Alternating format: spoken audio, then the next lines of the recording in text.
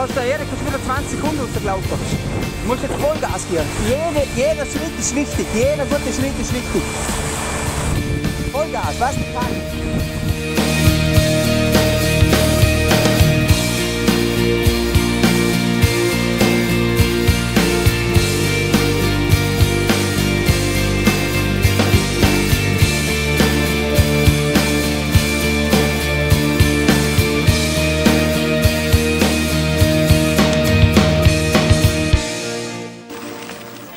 Wunderschön, aber sehr, sehr hart. Es war sehr warm.